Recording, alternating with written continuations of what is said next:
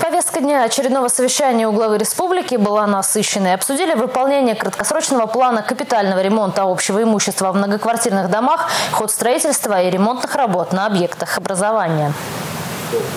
Задача на этот год масштабная. Ремонту и реконструкции подвергнутся школы, спортивные залы и площадки. Всего 98 объектов. Во многом это делается для того, чтобы ученики перестали учиться во вторую смену. Еще одна причина – большой износ зданий и отсутствие в них элементарных удобств. В этом году на эти цели выделено более 600 миллионов рублей. Предусмотрено софинансирование из республиканского бюджета. Правительство республики намерено построить и реконструировать пять школ. К 1 сентября двери откроют школы в Ядрине и столице Чувашии. Участники совещания детально детально обсудили ход работ по большинству объектов. Выяснилось, что на ремонт спортивных залов в ряде районных школ даже не заключены контракты. Что касается детских садов, то здесь особое внимание обратили на ликвидацию очередей для детей ясельного возраста. Срок ввода 16 дошкольных учреждений тоже нынешний год. Из них 10 в Чебоксарах, по одному в Канаше, Цивильске, Новочебоксарске, Комсомольском районе. В столице наблюдается отставание от намеченного графика. Глава республики потребовал от городских властей жесткого контроля и принятия срочных мер. Кроме того, на совещании заседании обсудили, как идет ремонт общедомового имущества в многоквартирных домах, итоги мониторинга потребительских цен на социально значимые продовольственные товары в первом полугодии.